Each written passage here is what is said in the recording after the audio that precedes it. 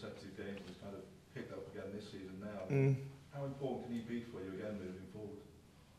Well, we hope he's, he's exactly that, uh, Paul. To be honest, it's um, um, yeah, you, you know, after he come back from that groin injury that he picked up at Southampton last year, he ended up being a massive influence on our performances and our, and our results because of the goals that he got. And for sure, you know, for us to do well uh, in this league, we're going to need players that can, can score a goal or two, and he, he showed that. And like I said, if he's done that there, then then great. Let's hope he can build his fitness now. He can have a bit of luck in terms of availability, and he can, you know, get back to where he was at the the end of the season. Um, yeah, and if we if we can bring some players in, because obviously we we're, we're desperate to improve the squad.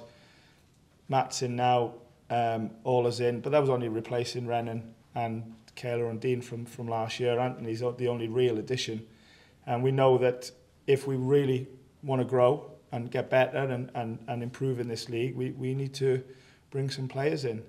Um, so I really hope that the club can do that now. So and because, um, like I said, it doesn't get any tougher than, than this league.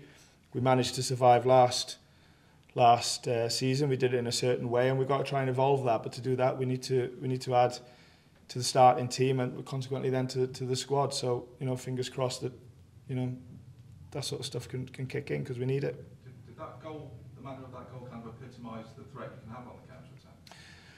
Yeah, well, it can because Anthony's Anthony's really really quick and dynamic, and um, he's a real sort of Premier League athlete already, even at his sort of young age. So I mean, and you, you need that, and that's something that I would like to improve through the team is the the dy dy the athleticism and uh, uh, and speed. So you know he's he's brought that in T as well. So um, so yeah, just if we can if we can do that in a couple of other positions as well, that will definitely help for sure.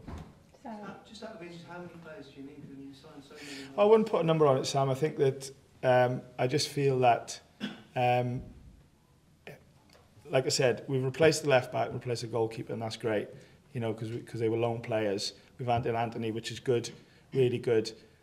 But it but it was so tough last year, and we learned quick quickly that you have to be at a certain level to be able to compete. So to do that, you know, we've we've got to have the ambition to improve the team and to get better. My mentality is always to improve. I said I think I said in the in the in the um, pre-match press conference, there was no jubilation from last year. For me, the, the biggest feeling was we, we got work to do, we got to improve. And, and that's lots of aspects of the club, but certainly, you know, the level of the team. So, um, so hopefully we can do that. Is it particular area looking at, Steve, or is it everywhere on the pitch to? Yeah, again, similar to Sam, I don't really want to say exactly, but we, we know exactly what we need and what we want to do. Um, listen, my mantra is always like believe in the players you work with and, and try and get the best out of them, and or them get the best out of themselves. And that's why you know that's that's what we we spoke to them about half time because we felt they could have backed themselves a bit more in, in games. But yeah, there's certainly areas of the of the game, uh, sorry, of our game that we would like to improve, and to do that, we'd like certain like types of profiles. If we're able to do it, great. If not, then I'll still roll my sleeves up and, and you know get on with it because that's that's what I've always always done. And um, you know everyone knows um, how important this club is and things like that. But at the same time we want to keep the positivity going um, over the last two years and keep growing as a club. But to do that you know we've got to improve the team. Sarah.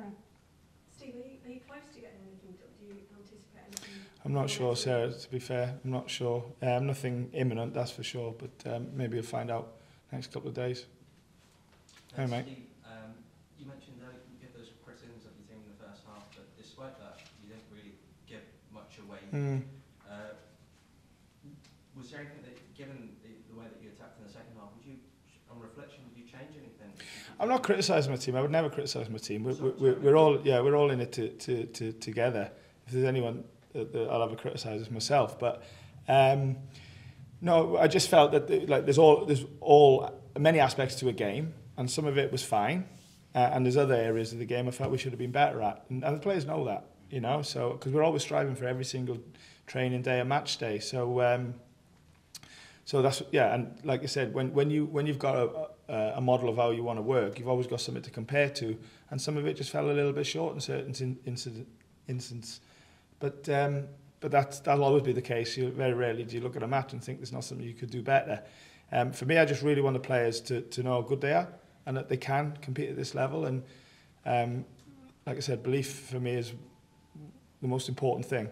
um, and but they've got to feel it, you know, as well. Last question. struggle with at all? Uh, Sorry, we'll go to the last question, sorry. Thank you. Hi, Steve. We're from ESPN Brazil. I can see. Yeah. A quick question about Scarpa. Um, I know he wasn't in the team today. Yeah. Um, I know he's had a few injuries, but he hasn't really had many chances with you. Mm. Do you see him? Do you see him playing a big part this season?